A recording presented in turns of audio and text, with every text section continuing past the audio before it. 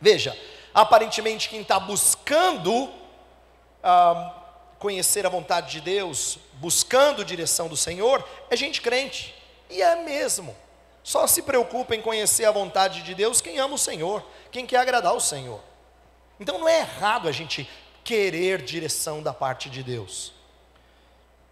Tanto é que tem gente que vai despertar, ser despertado a mais oração, mais leitura bíblica, o que é muito bom. Por outro lado, desenvolve uma espiritualidade muito perigosa, que sempre espera receber uma confirmação do Senhor. Isso soa piedoso, mas não é verdade que o Senhor vai confirmar do jeito que você espera. Entenda os perigos resultantes disso. Primeiro, pode gerar muita ansiedade quando eu não recebo a confirmação. O Senhor não disse nem sim nem não, e agora eu faço, eu não faço. E tem gente que vive ansiosa por descobrir a tal vontade de Deus. Em outros, eles ficam escravizados no subjetivismo. Isto é, Deus sempre fala com ele.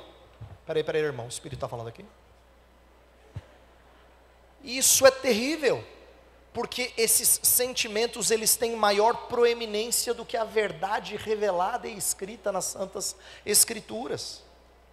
Em outros casos, isenta-nos de responsabilidade. Pastor chega para a igreja dele e fala assim: Irmãos, eu queria ficar com vocês, mas Deus está me mandando para outro lugar. Olha que beleza, culpado é Deus. Eu até queria ficar com vocês, mas é de Deus, né? Entendem? É de Deus, Deus está me mandando.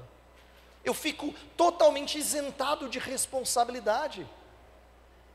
Ao invés de dizer, olha, eu vejo por essa e por aquela razão que agora eu vou servir melhor em outra localidade. Ok, mas assuma a sua decisão. Só que não, a gente transfere para Deus.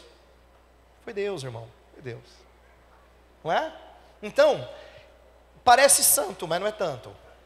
Tá? E veja os danos teológicos, agora eu vou falar de coisa mais séria.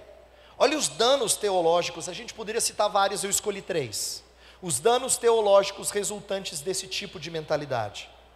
A gente gera uma visão distorcida de Deus. Por quê?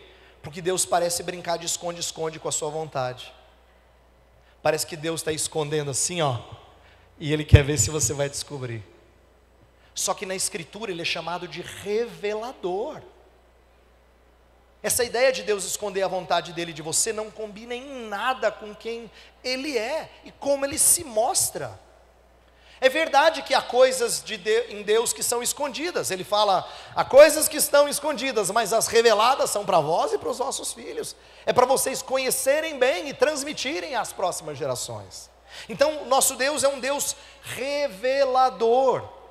E quando a gente cria essa ideia de que a vontade de Deus é difícil e obscura, a gente distorce a visão do próprio Deus. Ele é maculado no seu caráter. Além do que, vida cristã parece gerar muitas incertezas, né? Como é que você sabe que você vai agradar a Deus? Você já teve a terrível experiência de comprar presente para quem você não conhece bem? E agora, ele vai gostar ou não vai gostar? Já pensou você chegar em todo culto e dizer assim: Senhor, não sei se hoje o Senhor vai se agradar, mas a gente vai tentar aqui. turma ensaiou direitinho o louvor, se esforçando aqui, ó. Fiz o estudo da palavra, o pessoal vai cantar o melhor que pode, mas não precisa. Que terrível adorar um Deus que você não sabe se você vai agradá-lo. Isso é totalmente distorcido. A vontade de Deus não pode ser tão obscura assim. Inclusive, o nosso erro é achar que em situações em que as escolhas não são entre um certo e um errado, Deus só agrada, se agrada de uma delas. Não. Não é verdade que uma das decisões agrada o Senhor e a outra ele faz assim. Ah, que absurdo. Não é verdade. O Senhor Deus levou apóstolos a pregarem para gentios e outros trabalharam mais entre judeus. E nenhum dos dois dizer, ah, escolheu errado. Ambos fizeram aquilo que Deus queria deles, que era fazer discípulos de todas as nações. Então, é uma visão distorcida de Deus a gente achar que tem muita coisa na nossa vida que a gente tem que descobrir o que o agrada, mas tem incerteza se de fato agrada a Ele ou não. Deus não se apresenta assim. Segundo problema é uma visão distorcida das Escrituras. A Bíblia é o livro que nós temos que conhecer, mas a impressão de que conhecer as Escrituras não basta para agradar a Deus é terrível. Você querer orientação especial da parte do Senhor naquilo que Ele já revelou. Tem crente que acha bonito dizer assim: Deus mostrou para mim que eu tenho que perdoar o irmão. Está na palavra, querido. Você tinha que ler esse livro. Tinha que ler esse livro, conhecer, comer esse livro. Mas quer orientação especial do Senhor para coisas que Ele já mostrou. Não espere que o Senhor faça isso. Isso seria desprezar a revelação dele.